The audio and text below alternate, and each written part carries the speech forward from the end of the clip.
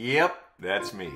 Probably wondering how I got here and why I'm not in the bathroom anymore and what is that thing I'm sitting in? Let's go back a few days. Well, what have we here? Hello, folks.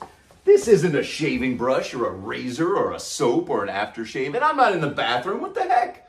Well, the fine folks over at Valencia Theater Seating said, Would you like to try out one of our theater seats? And I said, Well, I, I'm a shaving channel. I don't really do theater seating or anything like that. And they said, no, can send you one if you want. I was like, well, what am I going to do? And this is over multiple emails. And, and they said, well, I said, well, maybe I could shave in the chair. And they said, maybe you could shave or sit in the chair after you shave. I was like, you know what? You're